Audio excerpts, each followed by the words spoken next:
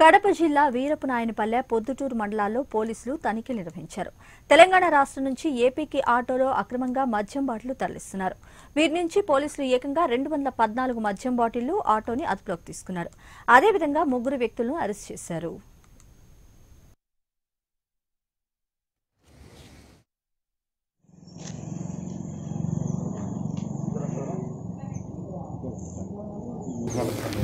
పద్నాలుగు ఫుల్ ఫోటోలు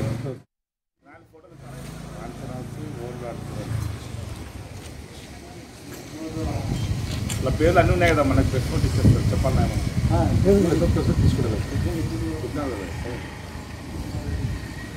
నాలుగు ఫోటోలు తల ఎత్తినారా అంటే దించారా వీడియో వీడియో.